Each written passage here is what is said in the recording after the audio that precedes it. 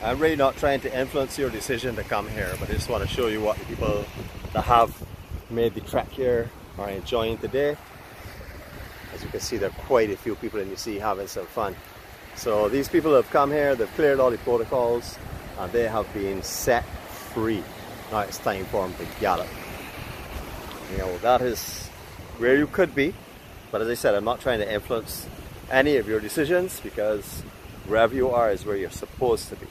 You know, you'll take care one more time from Barbados, probably last time for the day. But as you know, that could change with the blink of an eye. All depends on my mood swings. You know, have a great day guys. Catch you later.